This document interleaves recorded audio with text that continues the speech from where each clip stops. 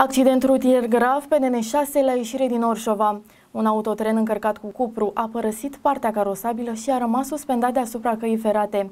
Timp de mai bine de două ore, salvatorii au încercat să scoată victima din cabina tirului. Tirul a rămas suspendat la marginea unui zid de sprijin la circa 10 metri de calea ferată.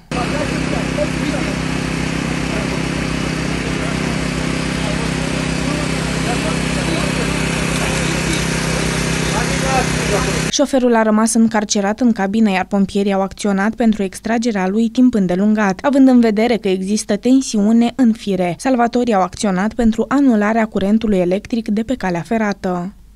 Deschide și încă o dată mai deschizi aia de acolo. Aia, aia de acolo, deschide și...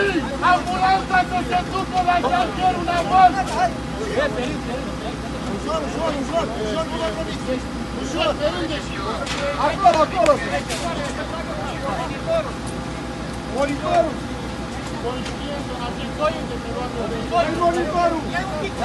Inspectoratul pentru situații de urgență Drobeta al județului Mehedința a intervenit pe DN6 în dreptul localității Orșova la un accident rutier. Am intervenit cu detașamentul de pompieri. Drobeta Turnul Severin și detașamentul de pompieri. Orșova, un asas de lucru cu apă și spumă, o autospecială de descarcerare, o autospecială smurd, un container multirisc și o autospecială de intervenție la calamități și dezastre. Ajuns la fața locului, am constatat că autotrenul părăsise partea carosabilă căzând într-o râpă de aproximativ 20 de metri. Am intervenit pentru descarcerarea șoferului, acesta fiind uh, foarte prins în fiarele contorsionate. Intervenția a fost una dificilă, am intervenit aproximativ două ore. Din fericire, victima a fost extrasă conștientă cu politraumatisme și transportată la spital pentru îngrijiri medicale. Da, da, da. Asta, așa. Ușor, ușor, prins, prins, Gata, lateral? Gata. Gata. Politraumatizat.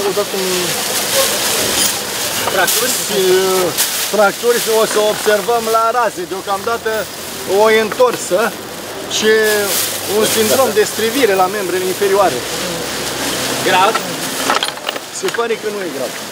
Polițiștii au demarat cercetări în acest caz. Se ia în calcul inclusiv varianta ca șoferul să fie adormit la volan.